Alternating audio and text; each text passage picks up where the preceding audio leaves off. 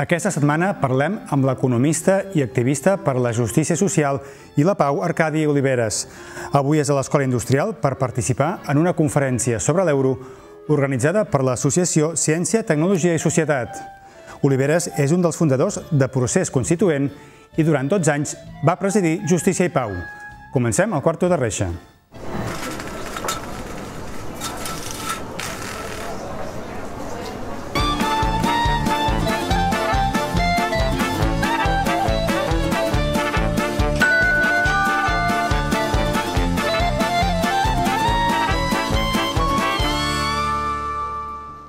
Arcadi Oliveres, què tal, com estem? Molt bé, molt content de ser aquí. Benvingut a Canal Terrassa, un, uns platós que no li són gens desconeguts perquè en altres no. ocasions... Eh... I tant, afortunadament, havia vingut diverses vegades, aquella època en què es feia una tertúlia, em penso que es deia Prisma, Prismes. i em van citar en alguna ocasió, sí. Molt bé, escolti, senyor Oliveres, l'hem segrestat d'aquesta conferència que ve fer avui a, a l'Escola Industrial per parlar, per parlar de l'euro, després en parlarem. Uh, abans, de, deixi'm que li pregunti per la més rabiosa actualitat. Uh, parlem dels refugiats, en aquest cas, per, per, per començar el concert de dissabte. Vostè va ser en aquest concert al Palau Sant Jordi? No hi vaig poder ser. No hi va poder ser? No hi va poder ser perquè just aquell vespre tenia una xerrada, un poblet de la vora Lleida, que es diu Maials, eh? amb el que ja m'havia compromès feia mesos, i m'agrada respectar una mica els compromisos presos, i per tant de totes maneres, al vespre el vaig eh, veure per televisió a l'arribar a casa eh, perquè encara hi havia temps. Però era molt just. De totes formes, no hi era físicament, però sí que hi era d'esperit i, i, i més si no hi era perquè estava fent un acte, era una, és una altra manera de ser-hi, no? Sí, sí, però descomptat, un acte amb aquest tema també es va tractar, només faltaria. A, a, a vegades ens perdem amb, amb coses banals en aquest concert, vostè diu que, que el va poder veure, es va, Final, la part, no? Perquè... Una part, eh, però sí. bueno, ja, amb el tros que va veure segur que ja va poder eh, percebre la, la solidaritat sí. que sempre desprèn el poble català, que no sé si és gaire... En altres llocs també passa, però aquí sí que la solidaritat, això sí que ho tenim. Uh, però com moltes vegades passa, ens quedem amb, amb un titular o amb unes paraules d'algú que ha dit concretament i em refereixo a les del periodista Jordi Évole que va fer aquelles paraules sí. parlant de competència i incompetència. Uh, Vostè creu que realment és un problema... O sigui, té raó eh, Jordi Abuelo quan diu que una part és part d'incompetència o que ens hem de creure més la versió del govern que si no podem acollir més refugiats és perquè l'Estat no ens deixa? Jo diria que, evidentment, tenir o no tenir competències en estrangeria és important per tenir una política activa. Però no és l'única qüestió. Jo recordo que l'any 1978 vaig tenir la sort de formar part d'un grup de gent, malauradament molts ja desapareguts, que vàrem crear una institució que encara existeix a hores d'ara, que es diu l'Associació Catalana de Solidaritat i Ajut amb els Refugiats. Perquè en aquell moment, 78, en venien molts. No de guerres, venien a l'exili després de les dictadures polítiques que s'havien establert a Argentina, Xile, Uruguai, Paraguai, Brasil. I recordo que en aquell moment hi hagué voluntat d'acolliment, no hi havia competències, però aquí a Catalunya van arribar milers i milers de refugiats en els quals se'ls va poder donar feina, se'ls va poder donar pis, se'ls va poder donar estudis. No sé si les circumstàncies eren molt diferents, però en tot cas jo crec que una mica de voluntat política de vegades també caldria, reconeguent, per altra banda, que el tema de la llei d'estrangeria, que hauria de ser competència de la Generalitat, encara és competència del Ministeri d'Interior. Creu que ens hem perdut per això massa en, aquest, en aquestes paraules concretes que en tot el que ve darrere? Bé, jo crec que hi ha una cosa un xic trista, que és que davant d'un drama humà i humanitari com és el dels refugiats, encara acabem perdent el temps en petites picabralles polítiques de si tu vas dir aquesta frase i tu vas dir aquella. A partir d'ara, per sort, em penso que aquest debat s'ha tancat, avui he vist mm. ja per internet que, que els que havien parlat una mica, en Rufián, el mateix Evola, etc., donaven per clausurada aquesta polèmica per poder-nos dedicar en allò que ens hem de dedicar, que és, per una banda, acollir els que venen, per altra banda, a fer que aquests que haurien de venir vinguin, i per altra banda, protestar a la Unió Europea i al govern central perquè siguin flexibles en l'arribada de gent de fora. En qualsevol cas, està clar que totes les persones que hi havia allà assegudes, govern inclòs, eh, defensaven la causa dels refugiats. Per descomptat, per descomptat, tothom els defensa. El que passa que de vegades potser caldria una paraula que no es pronuncia mai, que és practicar la desobediència civil en aquests casos. I si la llei diu que no, doncs sí que sí, perquè la història només ha progressat gràcies a actes de desobediència civil. hi ha hagut alguns intents. Recordo que fa uns mesos eh, uns xicots van intentar, a través d'Itàlia, fer venir gent sense papers. Evidentment, de seguida van ser castigats i rebutjats. Si només ho fan dos, doncs no passa res. Però si ho fan 200.000, sí que pot passar coses. I si a Catalunya estan disposats a fer desobediència civil amb altres coses, que sembla que ja estan disposats, i crec que està molt bé, també haurien d'estar disposats a fer desobediència civil amb aquest tema. Uh, més enllà d'aquestes 15.000 persones que van assistir en aquest concert i les, tota la solidaritat que, que desplega tot aquest tema, uh, estem, estem preparats per, per, per acollir tota aquesta onada migratòria? Més que preparats, més que preparats. Són quantitats absolutament ridícules, la, la gent que vol venir cap aquí, no únicament cap aquí, sinó cap a tota Europa. Estem parlant de 200-300.000 persones enfront a 450 milions d'habitants que té la Unió Europea. És realment decebedor veure aquest esperit egoista que tenim quan des d'Europa hem estat emigrants i exiliats tota la vida. No té perdó, no té paraules aquesta actitud europea, espanyola i en segons quina mesura catalana davant d'aquest fet. Uh, on sí que segurament hi hauria moltes coincidències és um, amb els retrets que es pugui fer la Unió Europea pel, pel paper que està fent en tota aquesta, en tota aquesta crisi, crisi de refugiats. Uh, què hem de fer amb Europa en aquest sentit? Què li passa? Bé, jo crec que el primer que hem de fer és dissoldre aquesta institució execrable que es diu Frontex, que el que fa és exterioritzar, com la paraula indica Frontex, fronteres exteriors, les fronteres que no estiguin a la riba de la Mediterrània, sinó que les traslladem a Mali, les traslladem a República Centrafricana, les traslladem a Burkina Faso, senzillament perquè des d'allà forces policials i militars europees, suposo que fora de la llei, estan actuant perquè aquesta gent no pugui venir aquí. És una cosa inacceptable. Però en segon lloc, això de la Unió Europea. En segon lloc, quan alguns no han arribat, en aquest cas la responsabilitat ja és del govern espanyol i concretament del Ministeri de l'Interior, tenim una altra institució que també hauria de dissoldre's immediatament, que s'anomena CIES, que són els centres d'internament d'estranger. Gent que està retinguda, evidentment, contra la seva voluntat, sense haver comès cap delicte, com a molt una falta administrativa per no tenir el passaport adequat. Però atenció, aquesta gent tenen uns drets que ni tan sols, perdó, no tenen uns drets, que en canvi de vegades la gent que és a la presó pot tenir, que són moments de permís, èpoques de condemna en què pot durar o que no pot durar, visites de fora, etc. El que està amb un CIE, malauradament, no té aquestes possibilitats. Hi ha hagut suïcidis, hi ha hagut gent que s'ha queixat. Tenir un CIE és un acte contrari a l'ètica. Tots els CIEs han de ser tancats immediatament i, per sort, l'Ajuntament de Barcelona ja ha demanat que el que hi ha a la zona franca es tanqui. Mm. I tot aquest filtre, tots aquests filtres que no deixen entrar gent, vostè li veu algun dia el, que s'obrin o que hi hagi un, una possibilitat que entrin més, vaja? L'única solució crec que la tenim una mica oblidant des de fa uns dies, que és que la pressió de la societat civil sigui suficient perquè els que prenen les decisions de gaire polític, sigui a Madrid, sigui a Brussel·les, canvien la seva actitud. Efectivament, dissabte passat es va demostrar que hi havia una quantitat notable de gent, no només aquells 15.000, molt més, que els veurem, per altra banda, en el carrer el proper dissabte, que són els que han de pressionar. Han de pressionar tant com puguin. Han d'analitzar el seu vot. Cada vegada que han d'anar a dipositar el vot en una urna, que mirin qui és el senyor que surt d'allà i quines actituds ha tingut en el passat al respecte d'aquests temes. Són coses que no les podem oblidar i amb les quals han d'exercir. I si cal, com he dit fa un moment, també practicar la desobediència civil.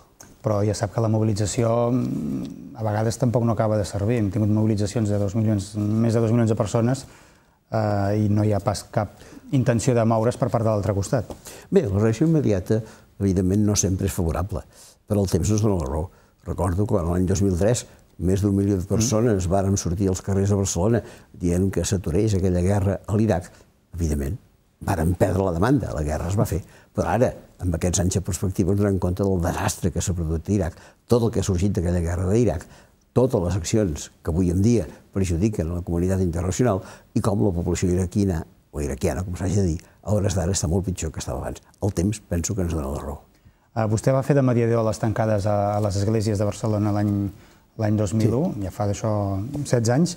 Uh, li venen records, de, li, veu paral·lelismes entre les dues situacions? Li venen records de, que potser havia oblidat i li torna a venir la, la situació?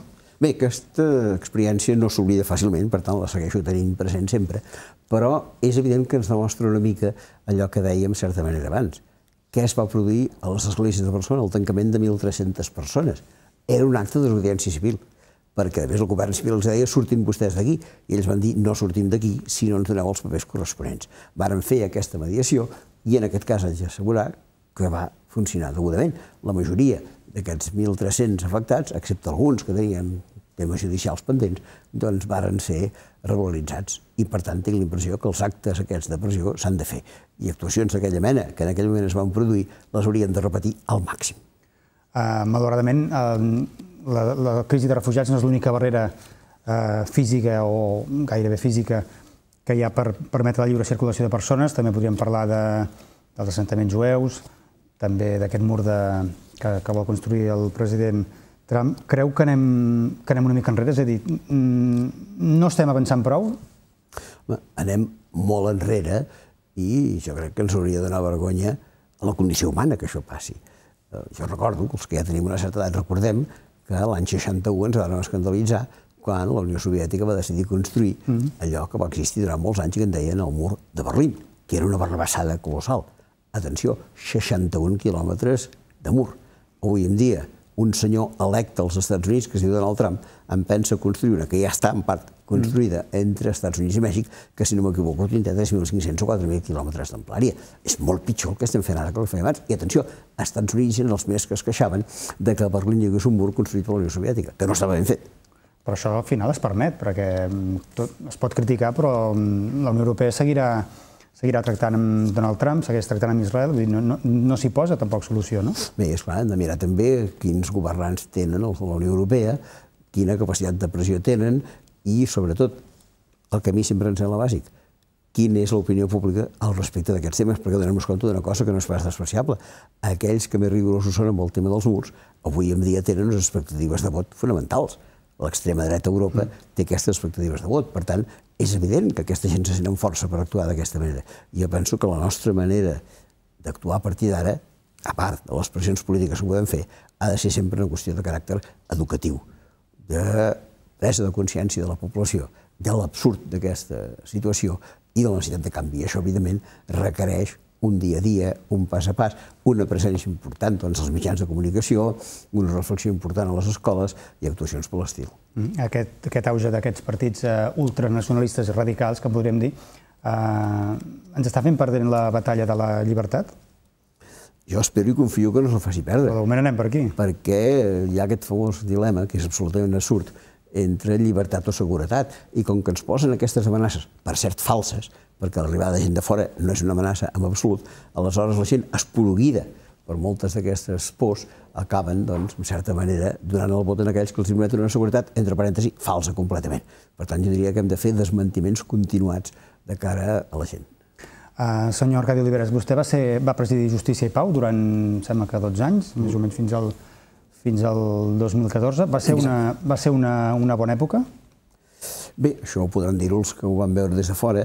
Eh, per mi va ser una bona època, no només aquesta, sinó la primera, perquè abans de ser president em vaig ser molts anys vicepresident i vaig tenir la gran sort de ser vicepresident d'una persona entranyable, Joan Gomis, que va fer de Justícia i Pau una institució amb tot prestigi i amb tota capacitat de lluita social. Jo, en certa manera, només vaig fruir de l'herència del que ell havia deixat quan va morir el setembre de l'any 2001. Per tant, tinc l'impressió que vaig gaudir una mica d'aquella quantitat de crèdit que ell havia donat a la institució vaig intentar, evidentment, seguir les passes que Justícia i Pau donava amb els temes de justícia social que donava, amb els temes de desarmament, amb els temes d'immigració, precisament, drets humans en general, i altres qüestions que s'han anat treballant i que encara es treballen avui en dia. Uh, senyor Oliveres, vostè va ser aquí a Terrassa moltes vegades, ha estat, l'any passat va participar, va participar en un dinar a la trobada, em sembla que era sobre el juny, sobre egoisme i diners. Sí. Vostè, entre les coses que ha escrit, eh, no sé, és un article, aturem la crisi i les perversions d'un sistema que és possible canviar. Vostè creu que realment eh, tot aquest sistema de l'afany dels diners, de tenir-ho tot, això ho podem canviar? No únicament ho podem canviar, ho hem de canviar, Com? ho hem de canviar amb urgència. Miri, un primer exemple. Canviant totes les facultats d'economia i totes les escoles de negoci. Quan un posa els peus en una d'aquestes facultats, el primer que li ensenyen és que des del punt de vista de l'economia d'empresa, el que has de fer sempre, et diuen, és augmentar el benefici, augmentar el lucre. No que hagis de donar feina a la gent, eh, no que hagis de fer una producció de béns i serveis, senzillament augmentar el benefici. I quan en lloc de parlar de microeconomia comencen a parlar de l'economia de l'Estat, hi ha un únic lema, que es diu creixement, creixement i creixement. Evidentment, mentre les persones que el dia de demà tindran responsabilitats directives en el món empresarial, en el món financer, en el món polític, els ensenyin aquestes barrabassades, és evident que no progressem gaire. Aquest és un punt que cal canviar, no únic, però penso que és molt important que ens donem compte que aquest sistema és absurd. Un sistema que, segons dades de les Nacions Unides, ens mata almenys cada dia, cada dia, unes 50.000 persones de fam. Ens imaginem que ens diguessin que ve un extraterrestre que vol matar 50.000 persones cada dia de les que populen aquesta terra. Diríem que no el volem. En canvi, diem que volem aquest capitalisme que ens porta en aquestes condicions i és inaccessible del tot, sobretot perquè tenim recursos perquè aquesta gent no mori. Mm. Vostè diu que és urgent canviar-ho, però ja sap que això no... és molt difícil. Home, mentre uh, sí. seguim tranquil·lament al sofà, no ho farem, però si sortim al carrer i si apretem, potser sí.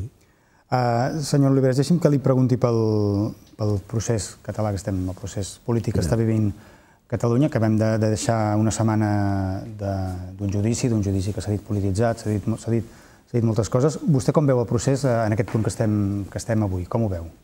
Miri, a mi particularment hi ha tres coses que em preocupen d'aquest procés en aquest moment d'ara i potser fa mig any i potser d'aquí mig any també. Primer, és que si volem que aquest país realment sigui independent, i jo en particular ho vull, el que ens cal és assegurar una majoria dels ciutadans que ho desitgin. I avui per avui aquesta majoria, malauradament, encara no la tenim acreditada. Per tal, ens cal en primer lloc una tasca didàctica. Cal convèncer la gent de les avantatges d'aquesta situació. En segon lloc, també molt important, no hem de buscar en la independència una paraula màgica que ho tapi tot i que pensi que ho resoldrà tot. La independència pot resoldre coses, però pot crear altres problemes. Hem de definir exactament quina Catalunya volem des del punt de vista econòmic, des del punt de vista financer, des del punt de vista ecològic, des del punt de vista social, des del punt de vista de la seguretat, des de molts punts de vista, això ho hem de definir. No podem pensar que la independència és màgic. Per tant, jo diria que ens fa falta tot un recorregut ampli de definir en detalls què volem. I en tercer lloc, una cosa que els últims mesos ha començat a sortir una mica, però que crec que encara no s'ha dit suficientment bé. Ens hem d'explicar a les Espanyes. Hem de dir exactament què és el que volem, perquè estic segur que si ho sabessin de debò, s'hi apuntarien i no trobaríem aquest rebuig que aparentment tenim. Amb això ja sap que els mitjans de comunicació estan en contra, no? Quins? Els d'aquí? Els de fora? Els d'allà, els, que, els, els que ens han de veure. No, uh, jo crec que no, eh?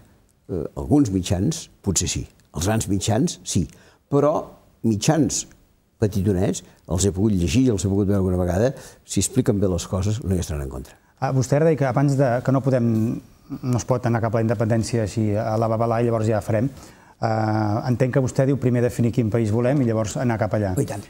Amb això no ens podem perdre en el sentit de que uns volen un, un, un tipus d'independència, els altres un altre, i que per aquesta raó no acabem sumant, perquè cadascú va per lliure? És que és possible, però és que segons quin tipus d'independència, en mans de qui la vulgui, potser jo tampoc la voldré. Mm. Caldria, entenc jo, definir-ho exactament uns grans trets que han de ser molt generosos i molt amplis, però que hi ha aspectes que han de quedar ben definits en aquests àmbits que explicava abans, econòmic, financer, social, ecològic, etc. Tinc l'impressió que és imprescindible.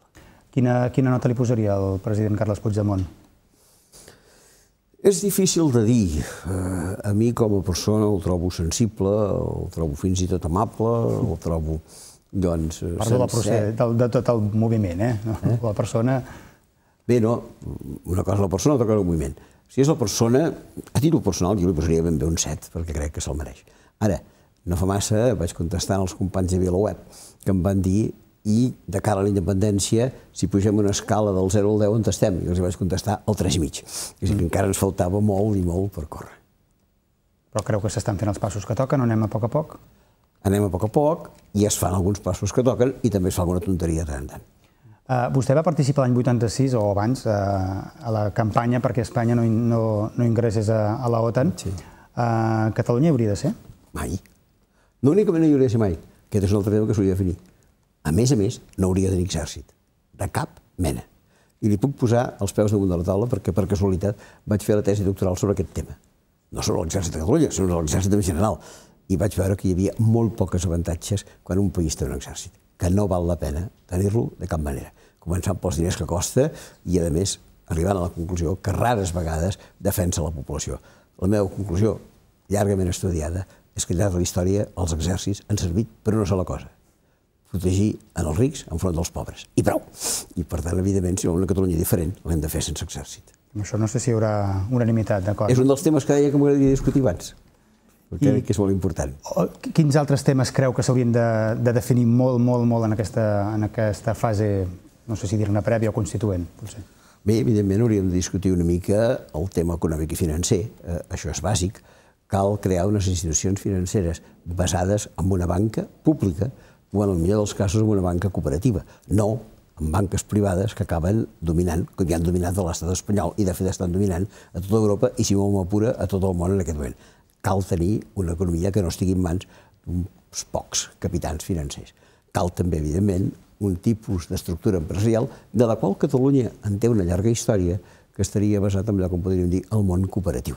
Pensem que en el temps de la República i fins i tot en el segle XIX Catalunya va tenir un esperit cooperatiu que avui en dia, si l'haguéssim aplicat en profunditat, hauria evitat xifres d'atur considerables, hauria fet que moltes empreses no acomiadessin senzillament a la gent i que, al contrari, es produís un equilibri i que no hi hagués aquest desnivell enorme salarial que hi ha entre les, els sous més baixos i els sous més alts. És una altra cosa que hem de definir. També hem de definir, evidentment, el futur ecològic, en aquest sentit que deia abans, que no podem créixer indefinidament, i altres coses que no explicaré ara per no allargar-me.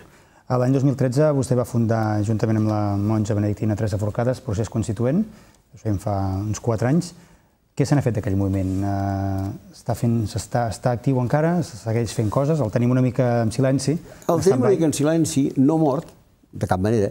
Hem de reconèixer que minvat una mica amb les seves forces, les mesurarem ara eh, quan d'aquí 15 dies tinguem l'Assemblea General Anual, que ens permetrà veure en quin nivell d'actuació estem. És cert que potser el cop més fort aquest procés constituent, aquest no el de Catalunya, el nostre, el va tenir quan, arrel de les eleccions de l'any 2015, no vàrem agafar opció per cap candidatura. Nosaltres el que hauríem pretès és una agrupació, una mena de coalició del que en podríem dir l'esquerra rupturista catalana, cosa que no va ser possible perquè sempre s'han produït picabralles entre els uns i els altres, i des d'aleshores hem abandonat aquesta participació, diguem-ne, a la vida política diària, però no gens ni mica la participació a la vida social. Jo, en aquest últim any, dins del procés constituent, m'he cansat de fer bastantes conferències sobre aquest famós tema del tractat eh, transatlàntic entre Europa i Estats Units, tractat comercial, que ara també està avançant en el món del Canadà. M'he cansat de fer xerrades sobre el tema del refugi i de l'exili, qüestions que tenen a veure amb aquesta construcció de Catalunya. Tot això ho seguim treballant i ho seguim treballant amb força, potser amb menys força que abans, perquè, evidentment, doncs, eh, potser de menys atractiu. Tot només li diré que tampoc n'estem descontents d'aquests quatre anys. Primer, perquè hem tingut molta gent que ens ha seguit. Segon, perquè si algú té la paciència d'entrar a la nostra pàgina web i llegir-se els documents, veuran que allà sí que està bastant explicat a quina Catalunya volem, quins processos hauríem de seguir. Mm. En tercer lloc, perquè vulguem que no, persones hereves i antigues partícips del nostre moviment han seguit formant part de candidatures municipals, de candidatures autonòmiques, en partits diferents, sempre dins de l'àmbit de l'esquerra, i avui en dia estan fent la seva política adequadament. Per tant, no n'estem descontents. Senyor Alberes, ens queden, ens queden un parell de minuts. Uh, no, no, no podem deixar marxar sense que ens parli d'aquesta conferència que, que ve fer avui, que per això, per això el tenim. Uh, aquesta conferència sobre l'euro a l'Associació Ciència, Tecnologia i Societat. Uh, Catalunya podria sobreviure sense l'euro? I tant. I l'estat espanyol també. Uh, I jo diria que pràcticament tots els països de la Unió Europea podrien sobreviure sense l'euro. N'hi ha alguns que no han viscut mai. Uh, Dinamarca, Suècia, la pròpia Gran Bretanya mai han tingut un euro i tinc l'impressió que la creació de l'euro va ser una barbassada. Ho puc dir amb un cert coneixement de causa perquè tinc articles escrits abans de la incorporació de l'euro dient que perdre aquesta capacitat de tenir política monetària pròpia no era adequat per un estat, sigui aquest estat l'estat espanyol o sigui aquest estat el futur que desitgem, estat català. Sí, aquesta expulsió de l'euro, de l'Europa, de la Unió Europea, no hauria de ser una amenaça, no? No, ens hauria, no, no, no ens hauria al contrari, de... hauria de ser una alegria. Exacte, per vostè sobretot. Almenys sobretot. Sí. Una alegria. Uh, escolti, senyor, senyor Arcadi Oliveres, uh, vostè porta cinc mesos uh, jubilat, era professor de l'Autònoma, la, de Universitat Autònoma. Com porta la jubilació?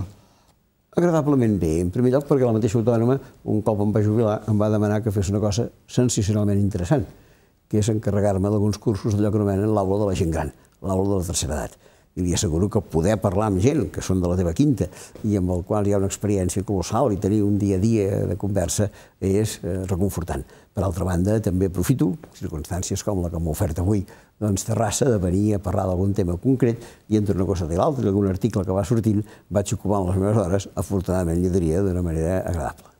Uh, I alguna assignatura pendent, uh, a banda d'omplir el temps lliure difonent tot el, tot el seu coneixement, té alguna cosa en ment, allò de dir, tinc allò que no he pogut fer mai perquè la universitat no m'ho ha deixat fer? Ah, estic content del que m'ha arribat fins ara. Evidentment no m'agradaria que d'avui demà hagués detallat tota aquesta actuació, si la salut m'ho permet, i de moment encara m'ho permet una mica, seguir d'aquesta forma. No tinc cap desig. Les signatures pendents serien aquestes de caire polític, social i econòmic, que hem dit abans, eh, respecte a l'euro, respecte a l'independència de Catalunya, respecte, però això seria un tema diferent. A mi, personalment, la signatura pendent no me'n queda. Uh, una última cosa molt breu. Uh, vostè li, se li va oferir ser candidat com a Catalunya sí que es pot al Parlament. Uh, li hauria agradat estar en aquesta etapa activament al Parlament? Penso que no. Uh, penso que no, perquè si bé és veritat que des de que era estudiant, i per tant d'això fa 50 anys, sempre he vorejat molt la vida política, el que és cert és que mai hi he entrat a la vida política. No? Li puc assegurar que a la meva edat encara és hora que hagi de tenir el primer carnet del primer partit polític. I, per tant, la vida política me l'he mirat una mica des de fora. Potser el procés constituent una mica d'intendre, de vorejar el tema, dir, mira, sense ser un partit hi entres, però després vistes una mica les discussions del dia a dia, vistes les polítiques de pactes, vistes les llistes de candidatures i coses d'aquesta mena, eh, vaig quedar una mica decebut i, en certa manera, penso que he quedat satisfet de no haver entrat. Molt bé, senyor Arcadi Oliveres, economista i activista per la justícia social i la pau. Gràcies per, per ser-hi i esperem tornar-lo a tenir aquí més endavant per poder doncs, seguir parlant. Aquí vindrem, quan en creieu. Moltes gràcies i fins, a, fins aviat. I a vosaltres ens retrobem la setmana vinent aquí al Quarto de Reixa, Canal Terrassa, amb una nova entrevista. Que tingueu bona setmana. Adéu-siau.